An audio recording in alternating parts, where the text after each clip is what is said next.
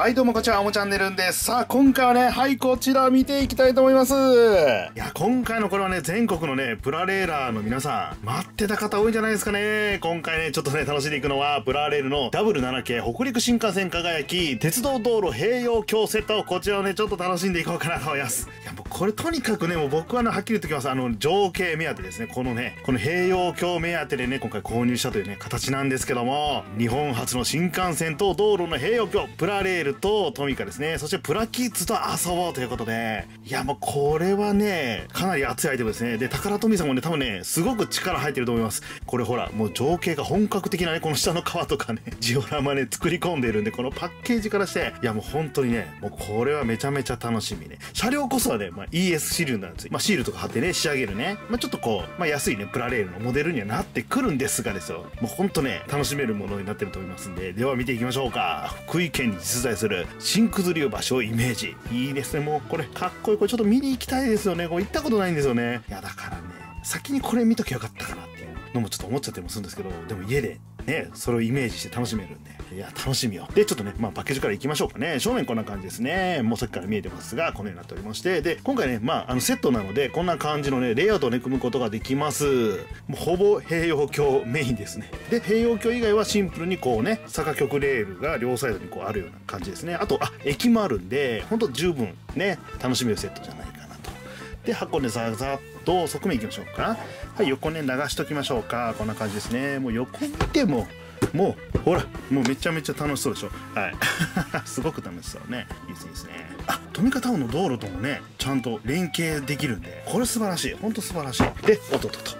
ね、こっち側の側面ね。はい、こちらに、え今回のね、ダウン7系北陸新幹線輝きのね、説明書いてありますので、もし気になる方いらっしゃいましたら、ぜひぜひこちらね、読んでみてください。いや、ES シリーズじゃなくても、本当あの、単品とかでもね、ダウン7系出てほしいですよね、ほんとね。で、こちらね、底の部分ですが、はい、こうなってて、で、箱の背面いきましょう。よいしょ、箱がね、ほんと大きいです。はい、はい、こんな感じでね。まあ、セット内容とか、組み立て方とかはね、載ってるんで、まあこれがほとんど説明書みたいなもんでしょ。でレイアウトが載ってましてあとあの新九頭流橋のね説明がはいこんな感じで、えー、書いてありますね。気になる方はねこちらもねちょっとね停止ボタン押してね読んでみてください。でさらにですねはいこちらにね鉄道道路併用橋ってないてねちゃんとねこの橋の説明もイラスト付きでねちょっと載ってるんでやもう本当にこういう説明ありがたいですね。こちらもね気になる方はぜひ読んでみてください。よしさあそれでは大変お待たせいたしました。僕も待っておりましたが ではでは開けて楽しんでいきましょうか。すごいっすよこれ。もうとにかくちょっとこの橋の迫力とかめちゃめちゃ気になる。うん。ではでは行きましょうね。よいしょ。行きましたよ。で中ね行き出していきましょう。よいしょ。おっと。でもないよ。いやぎっしり具合がすごい。よいしょ。めっちゃぎゅうぎゅうよ。おお出てきた出てきた。うわすごいやこれはすげえ。これねあのぎっしり詰まってるんでちょっと片付けるのにこれもちょっと写真撮っとかないとやばそう。まあ、なので、あの、写真残しときます。はい、まず、ちょっとスタート時点、こんな感じですね。はい、上から見るとこのようになっておりますので、あのね、購入された方ね、本当箱に片付ける方って結構多いと思うんでね、ちょっと参考にね、直してみてください。じゃあちょっと出していきましょうか。まずこれちょっと上にシールあります。シール取った状態でもちょっと取っときましょう。本当あの、しっかりぎっしり詰まってますね。でシールからちょっと出していきますがこちらはあなんかペーパークラフト的なものも入ってるんですかねよいしょ全部出しましょうあペーパークラフトじゃなくあれかあのいつものアンケートのやつですねでこちらシールですが、はい、こんな感じでね車体に貼るねシールがしっかりとあるんでこのようにねちょっとこう長細い形ですねね車体と、あと、これは駅ホームですね。ね、後でしっかりと貼っていきます。で、それ以外のパーツね、ちょっと上から見えてる順番にちょっと出していきますか。車両がまだ見えてないんで、まずここに入ってるのが、これが、これがスロープですね。曲線のスロープね。ちょっとこう下がってる感じ。で、ここ。こちらが河川中ですね。よいしょ。赤色の成型色の河川中が4本入ってます。ちょっと1本しっかりとお見せしておきましょう。はい。こんな感じのね、専用の河川中になってますね。こんな感じです。結構形がほんと細かくできております。で、どんどんいきましょうかね。はい。こちらにこのような形で、これが、えー、専用の接続スロープって書いてあるんですけど、はい。こんな感じで2本入ってます。これは、えっと、形的には同じなんかな？あ、ちょっと違うんかな？違いますね。ね、両サイドのもですね、これね、橋のね、こうかな？こうなる感じ。すごい。結構、いいっすよねこのね。あここがあれですね飛び方のとつなげれるような形ですね。これ2つ。であこれもあった。2本ずつか。同じものが2本ずつですね。はい失礼しました。でこれグレーのやつこれ。これがねよいしょ。こんな感じで。6個ですね。これも同じ形だと思いますがこれね今回の専用の橋脚になってますね。はいこんな感じのグレーの成型色で作られております。ねこんな感じですね。専用品なんで本当大切にしたいと思います。でこれがねミニ橋脚ですね。はい両サイドからね今回こう上がるようなレイアウトなので坂曲線レールですね。それを支えるミニ橋脚全部で12個あります。でこれ撮ったらいいかな。奥にちょっと、ね、車両が見えてきましたね。一応この時点の写真撮っとこうはいちょっと出していきますね。今この状態です。片付ける時の参考に。じゃあどこださこれいきましょうか。これがあこれがですね2分の1の直線レールですが今回これグレーですね。2本あります。で車両はまだ置いといてちょっとこの辺出しましょうか。どう出したらいいかな。これでいいか。これはね専用接続曲線支柱っていう名前です。はい。まあ柱ですね。これ1個で、こちらが、あ、これ駅ですね。まあ、見たことある形だと思いますが、白の成形色の大きな橋の駅という名前ですね。こんな感じになっております。後ほどシールなどを貼っていきます。で、ここに入っているのが、よいしょ、出しましょう。はい、これね、A と B の坂曲線レールね、それぞれ4本ずつ入ってます。で、ここに、これが専用接続曲線スロープという名前ですね。これが1つ。で、ここに、おなんか珍しいカラーよ。まあ、これは珍しいカラーですね。グレーのブロック曲ですね。これが1個。で、この手前に入っていますのかと。おなんか珍しい色の、またゴーストップレールがあります。はい、またこれ直線レールが2本に、あと2分の1の直線が1本。通常のカラー。で、これが白の2分の1のゴーストップレールですね。これも珍しいですね。貴重なパーツが今回たっぷり。なくしたくない、壊したくないですね。で、これ、よし、ちょっと、あ、こんな形で入ってる。なるほど、なるほど。はいはいはい。ああ、そっかそっか。またまたまた、ちょっとこれは、ね、すごいよ、これ。どうなってるの？おー、ほうほうほうほうほうほう。なるほど。あー、大きいな、これ。すごい。はい、こちらね、今回の主役といっても過言ではないでしょうね。鉄道道路併用橋ですね。これがね、サイズ的には、えっと、2分の1になってて、そう、真ん中が、ほら、これ、鉄道で、両サイドがトミカね、言ったらま車走るようになってて、そのさらに外側にプラキッズがね、こう、並べれるようになっていると。素敵です、このアイテム。これがね、同じものが2つあるみたいなので、はい、下にもこんな感じで入っております。いや、これはスペシャルアイテムですよ。ね、であとは車両これはちょっと真ん中のテープは切った方がいいパターンですで中間車ですねちょっとシール貼る前お見せしておきましょうか。ね。はいまず中央から。ねシール貼る前ですが W7K の中間車です。はいこんな形になっております。え後ほどシール貼っていきましょう。でですねはいこちら。これは先頭車か。ちらもよいしょと。はいシール貼る前ですがこちらが先頭車になります。ぐるっとこんな感じになっておりましてと。いいですね。かっこいいですね。あ前にね ES シリーズの、えっと E7 系か。それはね買ってあるんでちょっと後で比べてみようかなと思います。シール貼ってからね。これ先頭車。電池も後ほど入れます。であとはこれでセット内容ラスト。後尾車です。よし。はい、こんな形のね、こう、飛車になっております。こちらもね、後ほどシールしっかりとね、貼っていきます。この状態でも十分結構かっこいいんですけどね。はい、とりあえずね、全部出し終わりましたが、いや、今回もなかなかね、ボリューム満点で、で、ほんとね、このセットでしかね、手に入らないようなね、ものばかりなので、いや、もう一つ一つちょっと大事にしていこうかなと思いますね。にしてももうボリューム満点ですね。すごいと思います。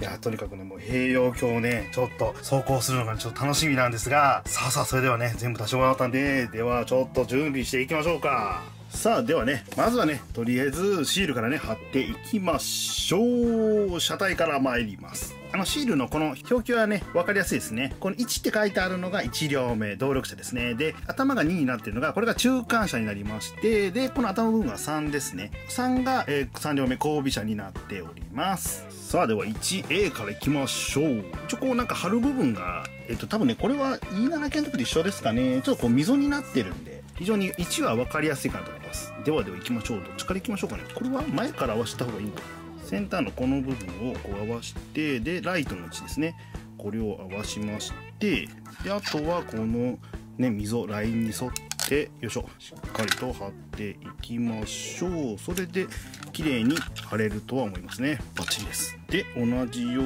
にあとはねアルファベット順にいきますね続いて 1B ですねここの部分になりますよいしょっていきますね。ほんとこのねあの ES シリーズのシールってすごいあの分かりやすいんですよ。ね貼りやすい。あの位置合わせがねしやすいのがすごく助かります。こういうねライトの位置とかって正直難しいんですよね。あのハッピーセットとかでもそうなんですけどまあハッピーセットはまだ楽か。まあでもさらに貼りやすいといった感じですね。ES シリーズがね。これが 1C です。で D ですね。1D をしょここに回してこちら側も溝に沿っててまいりましょう。よいしょ。はい。こんな感じですね。で 1E はね。この部分に貼ってとでちゃんとこれほらダブルね 7K のこのね番号これも入ります。よいしょとここでいいですかね。こんな感じでこれが 1F ですね。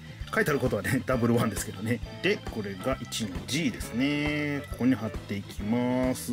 だから前の E7 系のね単品のやつよりね結構シールがね多いですね。表記がしっかりしてますよね。だからねあの ES シリーズなんですけどやっぱねなんかこれはもうほんとちゃんとしとこうっていうねタカラトミーさんのなんか本気を感じられます。であとこれはねもうマークね4枚一緒なんですけどこれも両サイドに貼っていきます。はいこちらのこの部分と反対ですね。よいしょ。見にくくてすみませんがはいここに貼ってあげると。はいこれで戦闘車できました。いいですね。またまたかっこいい仕上がりになりました。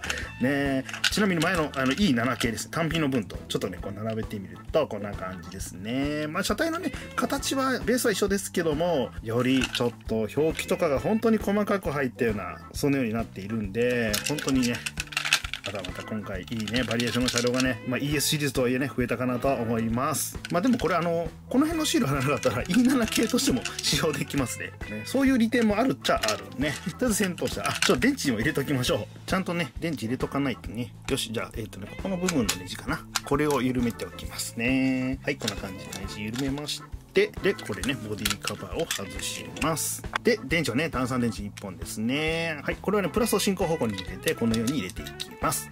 で、ボディカバーね、後ろの爪を引っ掛けまして、と、装着して、で、ネジしっかりと締めておくと、よいしょギュッと。はい、これで OK。ちょっと動作チェックしておきましょう。スピードはね、ワンスピードのみです。電源オン。お大丈夫か ?OK よかった。お大丈夫ですね。はい、しっかりと走ります。おパワフル。はい、とりあえず先頭車でした。で、続いて中間車入ります。さあ、ではのパートいっちゃいましょうか。まず上のライン、ここが 2A ですね。で、こっちの側面のラインが 2B です。で、くると反対側回りまして、上が 2C になります。で、続いてここね、2D なんですけど、ね、これちょっと注意していただきたい。よく言っちゃうんですよ。これね、このままこうペロンって剥がすじゃないですか。これ剥がすと、シールこの向きなんですよね。この向きなんですけど、上下あの逆にしてね、間違えないようにね、お気をつけください。僕ね、間違えちゃうんですよ。そういうのよくね、間違えるんで、ここね、ご注意ください。これが 2D です。で、こちら側ですね、え前の方に 2E、ね、上の部分にこれを貼っていきます。で、反対側、こちら側に 2F ですね。で、こんな感じで貼ると。はい、これで中間車できました。くるとね、こんな感じのね、仕上がりになりました。ね。あ、ちなみにあの、このね、連結パーツをね、収納することができます。で、これもね、ちょっと E7 系と、まあ、比べておきますが、これはね、あのね、一緒ですね。はい、あの、全くね、同じものになっておりますので、あの、気をつけてくださいね。もし持ってる方は、まあ、気をつけてか、まあ、混ざってもね、多分どっちがどっちでも多分いいとは思うんですけど、一応あの、ね、違うセットものになってるんで、ちょっと気をつけてください。この辺のなんかシールの太さとか、ね、まあ、これ僕の個体差だけかもしれませんけど、ね、ちょっとこの辺が、まあ、細かく違うかなといった形です。中華車でした。で、後尾車。これも貼っていきましょう。まあ、後尾車はねさっきの先頭車と貼り方の容量は基本的には同じなのでねそんなに迷うことはないと思いますが、まあ、一応慎重に貼っていきたいと思いますねまず 3A ですねで続いて 3B はいこちらもきっちりと慎重に溝に合わせまして貼ってまいりますで上がね 3C ですねよいしょこんな感じで 3C ですで側面のラインが 3D ですねよいしょと貼っていきますで続いて 3E ここで、で、3F ですね。後尾車にも W1 のね、文字が入ります。で、もちろんこれもありますね。これが 3G ですが、ここに貼りまして、これ2枚あるので、反対のこの部分にも貼ってあげると。で、あとはマークを貼って仕上げていきましょう。ここと、ここですね。はい。これで後尾車出来上がりました。はい。このようなね、仕上がりになります。かっこいい。で、一応ね、後尾車も出しておきましょう。はい。こちら E7 系と比べるとこんな感じになります。ね。まあ、こちらもね、先頭車と同様ですね。ここのね、まあ、マークと番号を貼らなければ E7 系にすることもできますね。まあ、なので、二度美味しいといった形ですかね。はい。素敵です。で、これでね、3両できました。で、駅ですね駅も貼ってい。きましょうまず屋根はい。今回ちょっとこうグリーンのやかな。こんな感じで貼ってあげまして。でホームの部分ですね。これちょっと結構ね形があの複雑なので気をつけて貼っていただければいいかなと思います、まあ、僕がねほんと一番気をつけないといけないんですけど。ちょペタンってなっちゃった。これ。ちょっと待ってこれ剥がれるかな。大丈夫かなこれ。くっついちゃったよ。結構綺麗に貼りたいんだよねほんとね。でもね失敗するんでちょっともう一回こうしよう。こうですね。よいしょ。なんとかいきました。はい。これで。OK ホームが多分一番難しいかもしれませんね。で柱にねこちら時刻表貼っときます。時刻表にちょっと斜めた貼り直しましてで反対側乗り換え案内ですね。よいしょ。こちらに貼ってあげると。で駅名。これも貼ってあげます。今回の駅は大きな橋の駅となっております。はいこれでとりあえずね駅完成いたしました。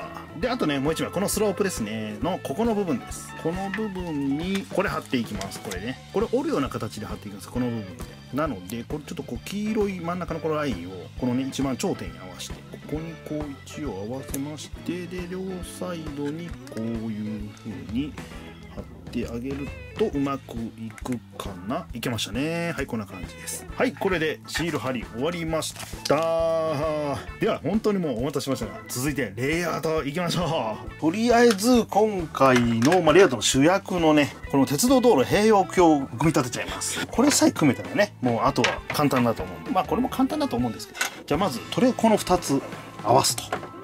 これはどっちでもいいかな。よいしょ。おっとっとっと。結構バチッといきますよこれね。はい。こんな感じに一つにします。でこれねちょっと裏返しましてここにね専用の橋脚これをつけていくわけなんですけどつける位置はこれ見てもらえればわかると思うんですけどここにねこれ星マークあるじゃないですか。この星のマーク。ここだったら123個ですね。そこにこれね専用橋脚のこの部分をね差し込んでいきます。なので1個だけちょっと丁寧にやっていきましょう。この部分ねここにこうですね。こんな感じわかります？もう一回。こう。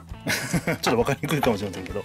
はい。星の位置に合わせて取り付けていくと。それを6箇所やっていきますね。対面にこうですね。でこことこっちの端とはいこの真ん中もこうですね。でこちらの端。こうこれ OK で真ん中にこのブロック橋脚これグレーのねこれをつけると。よいしょ。こんな形でつけてあげる。まああの一応説明の画像ね 共有したら一番分かりやすいと思うんですけどこんなイメージです。ちょっとスクショ出してきます。こんな感じでつけてください。でこれができましたらよいしょちょっとね立てまして。でおはすごい迫力これ。まあ言っても長さ的にはねこの直線レール2本分なんですよね。2本分なんですけど幅とかもほんとすごいんでやばいっすよこれ。この迫力は半端ないこの橋ね絵になる。でああとねこれですよね。河川中。これね4本ありますんでつけていきますがあのつける場所ね8箇所あるんですよ。はい。こんな感じでねあの片側にあの4つずつ空いてるんでまああの好きなところに4本つけていただければいいかなと思うんですけどもとりあえず僕はまあお手本通りというかね説明通り外側にね2本ずつちょっと差し込んでいこうかなと思いますね。いやこれをつけることによってまたすごいねこれ。迫力が増しますね。高さも出るんで。はい。ほほほほやば。でここまで来たらまああとはね簡単ですよ、まあ、これまでも簡単ですけど。スロープね。スロープ。これつけていきましょう。まあなんとなくで多分いけると思うんですけど。なんとなくちょっと適当すぎるんですけど。はいここですね。よいしょ。ねこんな感じで。これはちゃうか。こっちですね。はいこれをこうしてつけまして。で反対側もね。よいしょ。こちら側もつけておきましょう。ほい。ねレイアウト組めるかな それが心配になってきたんですけどいやでも長さ的にね直線レール2本分なんで多分大丈夫だと思いますが。いやっていうかねとりあえずまあまあこれでね一応こう今回のメインの橋はできたわけですけどすっごい。えこれやばくないですか？この橋は絶対ちょっともう言い過ぎかもしれませんけどプラレールやってる人みんなにほんと触れてほしいね。いやーそんな橋になってますね。これはすっごいよこれすごい。あちょっと外れた。いやーすごいであとはね今ちょっとこれね全部この階段とスロープ付けてあるんですけどこれの付け方ねこれもやっていきましょう。ね。これはえっ、とね橋脚まずこれ付けます。真ん中の部分にこの橋脚ね。これをこのように。まあ向きはどちらでもいいと思うんですけど好きな向きにこうつけていただきまして。ででここですね。ここにこのスロープね。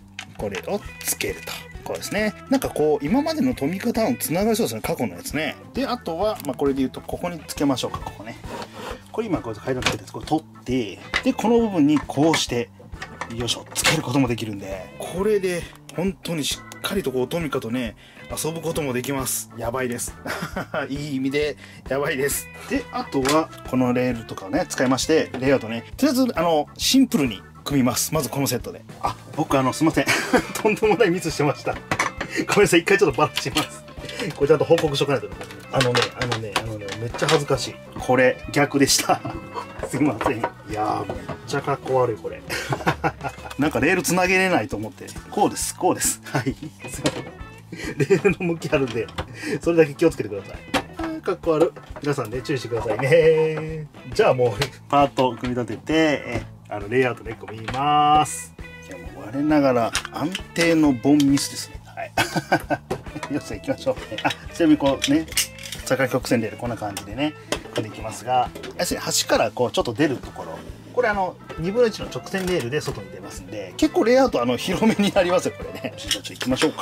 この辺はまあ慣れてるんで大丈夫ですけど、さっきのミスはちょっとかっこ悪かったですね。はい。皆さん本当にお気をつけください。あの、これ組むときテロップ入れときますね、最初のやつにね。真似しちゃうとあれなので、はい、こんな感じで曲線いきました。で、反対側もね、ちょっと同じようにといきましょう。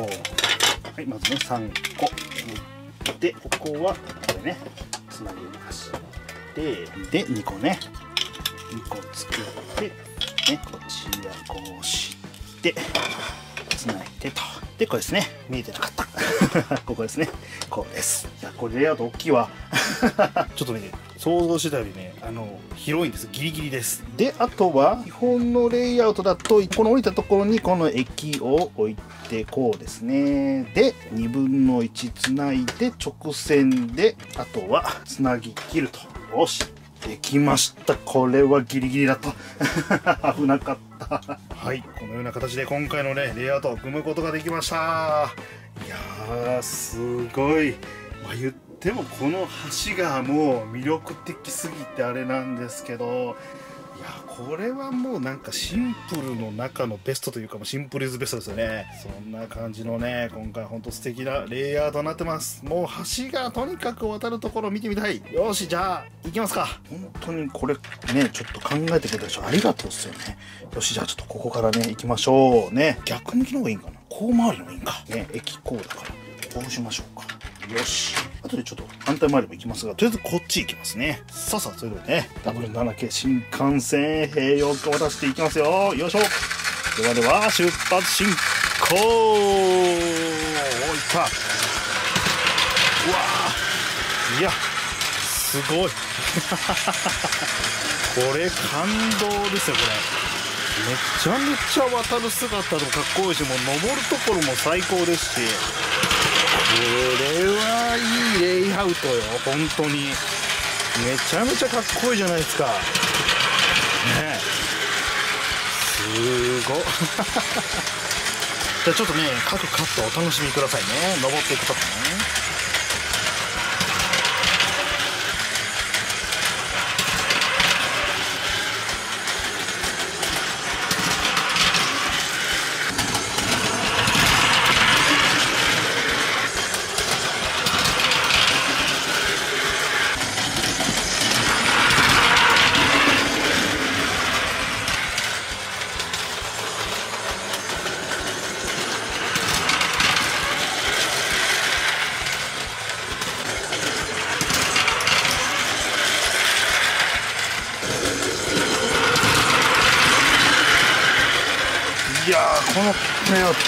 こよすぎでしょ。今回のこの橋ね。行こう。逆向きも行こう。ねちょっと逆向きも見てみたいし。行きましょう。よーし。ああそうこれもね。おあーかっこいいな。ーお止まっちゃった。いや逆もでもほんとめちゃめちゃかっこいい。ね。うもう何これもう。最高じゃないですか。おおすげえいやーでも本当に素晴らしいセットが出てくれました。じゃあちょっとせっかくなんでまあこの辺にコミックタウンとかあとねプラキッズとかトミカもねその辺も置いてちょっとねせっかくなんでこのセット思いっきり楽しみましょうか。はい。とりあえずこんな感じにしてみましたがどうでしょう、ね、とりあえずちょっと新幹線上まで持っていこうか。はい。あいや走らなくても別に置きゃよかったですけど。はいこれで。もういやめっちゃ楽しみましたよ。はい、はい、とりあえずね軽く街並みもねちょっと作ってみましたがねえいやもうこの組み合わせとかも本当最高ですよね。あの僕の一押しここです。はい。ねちょっとここにね、乗るね、プラキッズとかちょっとなかったので、ね、人形とかなかったんであれなんですけども、ね、こんな感じでね、ほんとトミカタウンとかトミカともね、もう相性が抜群すぎるね、今回ね、レイアウトに組むことができますので、いやー、最高ですね。もうね、ちょっと言葉が本当に毎回そうなんですけど、今回は特に見つからないんですが、これプラレールのね、レイアウトをね、組んでいくには、まあ、今後、本当プラレーラーさん、プロのプラレーラーさん、これを取り入れるでしょう。そんな感じで思いますので、今回ね、もし気になる方いらっしゃいましたら、本当に車両がね、ES シリーズなのが、ちょっと謎で仕方ないんですけども、でもね、ほんと十分ね、楽しめるものになっておりますので、もし気になる方いらっしゃいましたら、ぜひこのセット、楽しんでみてください。はい、ということで改めましてね、今回はですね、新しいプラレールのね、W7 系北陸新幹線輝き鉄道道路併用強制と、こちらをね、見ていきましたが、もう今ね、もう本当言った通りですよ。もしね、もう今回のね、この橋はもう最高です。気になる方はぜひ探して、ちょっと楽しんでみてください。まあ、ということで、はい、今回ね、この辺りに締めたいと思います。おもチャンネルのタルでした。皆様のね、チャンネル登録やコメント評価、どんどんお待ちしますので、よろしくお願いします。あと、ツイッターやね、インスタもたくさんで、そちらのフォローの方もね、ぜひよろしくお願いします。では、今回もね、最後までご覧いただきまして、本当にありがとうございました。またね、この動画でぜひお会いしましょう。では、ごきげんよう。さよなら。バイバイ。本当に最高です。